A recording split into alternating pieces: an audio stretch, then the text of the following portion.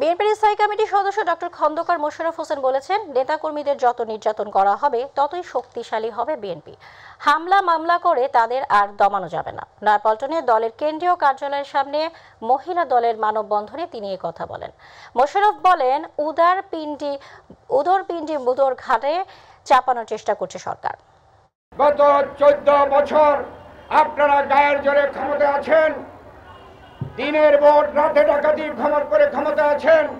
আপনারা বয়কটের সেই নির্বাচনে গায়ের জোরে ক্ষমতা আছেন।